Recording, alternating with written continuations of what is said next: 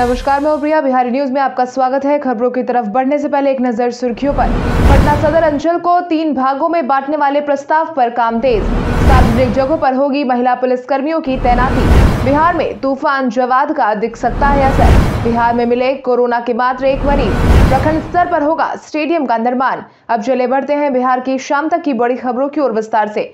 Flight से बिहार आने वाले सभी यात्रियों के लिए जारी हुई नई गाइडलाइन। बिहार आने वाले सभी हवाई यात्रियों के लिए अहम सूचना। फ़्लाइट से सफ़र करने वाले सभी यात्रियों के लिए अब थर्मल स्क्रीनिंग ज़रूरी कर दिया गया है। साथ ही साथ फ़्लाइट से सफ़र करने वाले यात्रियों के लिए पटना से लेकर दरभंगा एयरपोर्ट तक नए नियम के साथ जाँच की जाएगी। वहीं पटना एयरपोर्ट पर आने वाले हर यात्री की थर्मल स्क्रीनिंग की जाएगी। साथ ही साथ यात्रियों का एंटीजन टेस्ट भी करवाया जाएगा। हालाँकि इन सबके बीच वैसे यात्री जिनके पास बहत्तर घंटे का आरटीपीसीआर रिपोर्ट नेगेटिव होगा, उन्हें एंटीजन टेस्ट से छूट दी जा सकती है। इसके साथ ही विदेश यात्रा से लौटे यात्री अगर घरेलू उड़ान का इस्तेमाल कर रहे हैं तो उनके लिए आरटीपीसीआर टेस्ट ज़रूरी कर दिया गया है। बिहार में तूफ़ान जवाद का दिख सकता है असर। बंगाल की खाड़ी से उठा चक्रवाती तूफ़ान जवाद का असर बिहार में भी देखने को मिल सकता है। मौसम विभाग के अनुसार कई जिलों में इसका असर देखने को मिलेगा। इसकी वजह से बादल छाए रहेंगे। मौसम वैज्ञानिकों की माने तो कुछ जगहों पर बारिश भी हो सकती है। मौसम विभाग ने साफ़ कहा है कि इसका असर सोमवार तक बने रहने की संभावना है। अब उम्मीद यही जताई जा रही है कि चक्रवाती प्रभावों का असर कम होते ही प्रदेश में ठंड बढ़ जाएगी और न्यूनतम तापमान में तीन से चार डिग्री तक गिरावट आ सकती है। पटना मौसम विज्ञान केंद्र के विज्ञानी संजय कुमार का कहना है की बंगाल की खाड़ी खाड़ी में उठा तूफ़ान अब प्रचंड रूप धारण कर चुका है। इसका असर पश्चिम बंगाल और उड़ीसा से झारखंड होते हुए बिहार तक दिखेगा। कोरोना के कारण गई रिटायर्ड आईएएस अधिकारी की जान। बिहार में कोरोना संक्रमण के मामलों में स्थिरता दिखाई दे रही थी, जिससे लोगों को उम्मीद थी कि शायद हमने कोरोना पर विजय प्राप्त कर ली है। हालाँकि अब दक्षिण अफ्रीका में ओमिक्रॉन वेरिएंट ने सबकी चिंता बढ़ा दी है। साथ ही लंबे समय के बाद बिहार में जान गंवाने का कोई भी मामला सामने नहीं आया है जिसे स्वास्थ्य विभाग भी चिंता का विषय मान रही है। इसी कड़ी में शनिवार शनिवार को एक रिटायर्ड आईएएस अधिकारी धीरेन्द्र कुमार सिन्हा की कोरोना के कारण जान चली गई। कोरोना संक्रमित होने के बाद वो पटना एम्स में भर्ती थे और वहीं पर उनका इलाज किया जा रहा था। वहीं बीते 24 नवंबर को यहाँ वो भर्ती हुए थे। बताया जा रहा है कि वो बोर्डिंग रोड में अपने परिवार के साथ रहते थे। राज्य सरकार के वकील से पटना हाईकोर्ट है खफा। पटना हाईकोर्ट ने एक मामले में सुनवाई के दौरान राज्य सरकार का पक्ष रखने वाले अधिवक्ता पर अपनी नाराज़गी दिखाई है।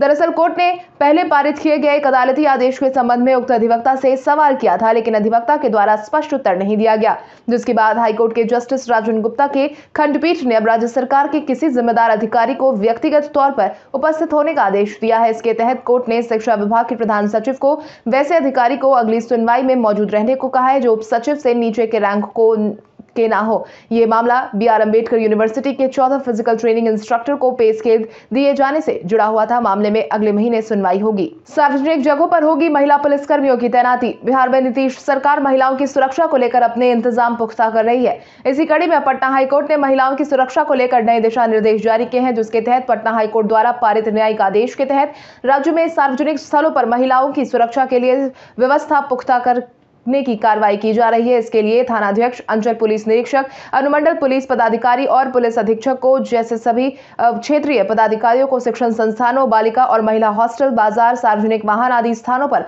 महिला पुलिसकर्मियों की प्रतिनियुक्ति करने का निर्देश दिया गया है। इसके साथ ही थाना पुलिस अधिकारियों का मोबाइल फ़ोन नंबर का होर्डिंग, पर्चा, ब्रोशर और बुकलेट आदि से प्रचार प्रसार करने के लिए निर्देश भी दिया गया है, जिससे आने वाले समय में मामले में कमी आने की उम्मीद भी जताई जा रही है।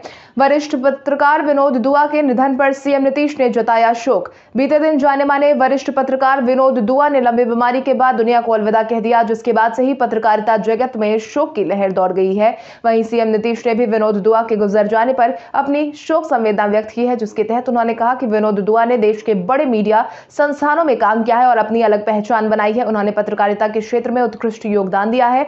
भारत सरकार ने साल दो हज़ार आठ में उन्हें पद्मश्री पुरस्कार से भी सम्मानित किया था। उनके निधन निधन से पत्रकारिता जगत में अपूर्णीय क्षति हुई है। मुख्यमंत्री ने दिवंगत आत्मा की चिर शांति और उनके परिजनों को दुख की इस घड़ी में धैर्य धारण करने की शक्ति प्रदान करने की ईश्वर से प्रार्थना की है। बिना टिकट यात्रा करते पकड़े गए साढ़े तीन लाख रेल यात्री यात्रीगण, कृपया ध्यान दें। मध्य रेल द्वारा बिना टिकट और उचित प्राधिकार की यात्रा पर रोकथाम के लिए इन दिनों विशेष अभियान चलाया जा रहा है। नवंबर में बिना टिकट यात्रा के कुल तीन लाख उनचास हज़ार तीन सौ चालीस मामले सामने आए हैं, जिससे रेलवे को जुर्माने के रूप में बीस करोड़ दस लाख से अधिक का राजस्व प्राप्त हुआ है।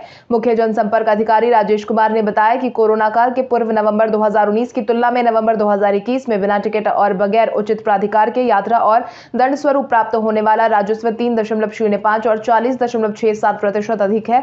अकेले दानापुर मंडल में इक्यानवे दशमलव पाँच शून्य हज़ार लोगों को बिना टिकट या उचित प्राधिकार के पकड़ा गया है, जिसे दंड स्वरूप लगभग पाँच करोड़ बयालीस लाख रुपए रेल राजस्व के रूप में प्राप्त हुआ है। इसके साथ ही हाल ही में चक्रवात तूफ़ान जवाद को देखते हुए पूर्व मध्य रेल ने सुरक्षात्मक कदम उठाया है। न्यूनतम तापमान में आई गिरावट। राजधानी पटना सहित पूरे राज्य में रविवार को हल्के से मध्यम स्तर का कोहरा छाया रहा। चौबीस घंटे के भीतर पटना में न्यूनतम तापमान में अठारह डिग्री सेल्सियस से गिरकर सत्रह पर जा पहुँचा है। आगामी दो दिनों में तापमान में और गिरावट आने का अनुमान है, जिससे कि बिहार में कनकनी ठंड में बढ़ोतरी हुई है। मौसम विज्ञान केंद्र पटना के मुताबिक सात दिसंबर तक तापमान चौदह डिग्री सेल्सियस रहेगा। वहीं अधिकतम तापमान छब्बीस डिग्री सेल्सियस से बढ़कर अट्ठाईस पर जा पहुँचा है।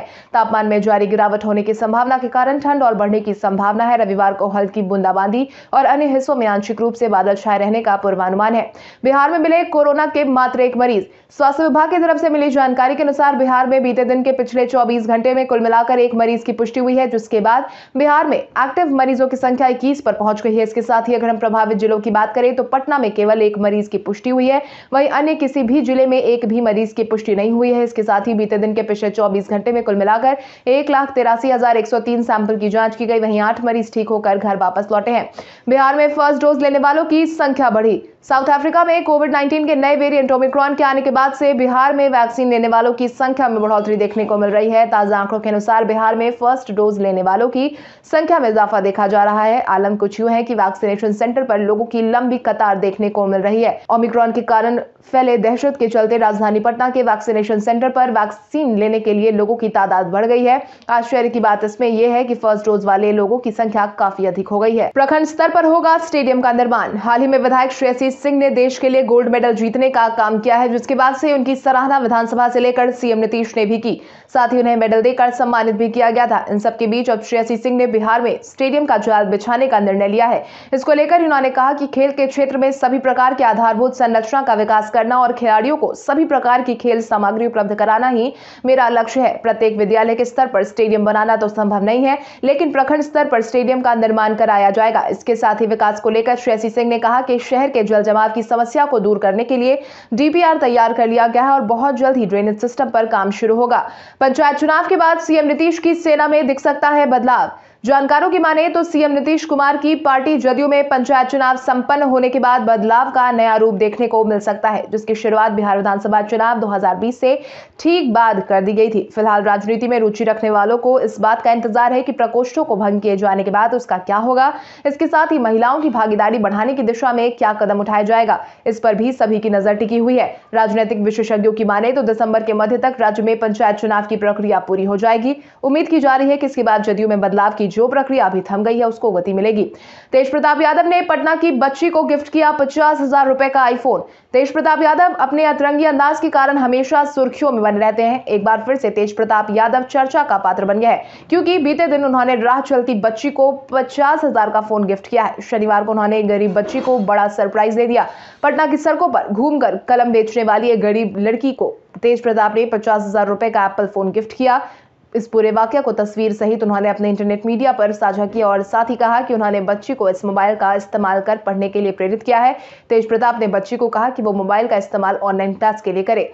पटना सदर अंचल को तीन भागों में बांटने वाले प्रस्ताव पर काम तेज। बिहार की राजधानी पटना सदर अंचल को तीन भागों में बांटने की तैयारी चल रही है, जिसके तहत पटना सदर अंचल को पटना सदर, ग्रामीण अंचल और सिटी अंचल में बांटा जाएगा। इसकी सीमाएँ तय कर ली गई है। इस प्रस्ताव पर काम तेज हो गया है। मिली जानकारी के अनुसार पटना सदर का क्षेत्र दारापुर से सटे एक से लेकर वार्ड सोलह तक संभावित है। वहीं अगर हम पटना सिटी प्रखंड की बात करें तो यह अंचल कार्यालय के अंतर्गत मुस्लामपुर हाट से लेकर के पटना सिटी तक के इलाके शामिल होने की संभावना जताई गई है। ठीक इसी तरह पटना ग्रामीण प्रखंड से अंचल कार्यालय के तहत उन्नीस मौजाद छह पंचायत और तीन हल्का प्रस्तावित है, जिसकी जानकारी डीएम डॉक्टर चंद्रशेखर सिंह ने दी है। साथ ही बताया है कि पटना सदर से अंचल का क्षेत्रफल पहले से काफ़ी बड़ा है। विराट कोहली के फॉलो ऑन न देने के निर्णय को पूर्व खिलाड़ी ने बताया सही। मुंबई टेस्ट के दूसरे दिन भारतीय कप्तान विराट कोहली ने मेहमान टीम को फॉलो ऑन नहीं दिया और भारत एक बार फिर से बल्लेबाजी के लिए उतरी।